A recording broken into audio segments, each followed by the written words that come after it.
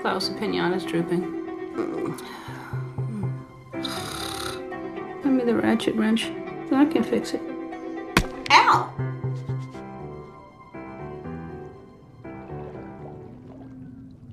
Hey, Marlin. Oh. Hey, guys, I was just. Dory, it's not time to get up yet. You have to go back to bed. Remember the anemone sticks. All right, yeah, sorry. Back to bed, back to bed.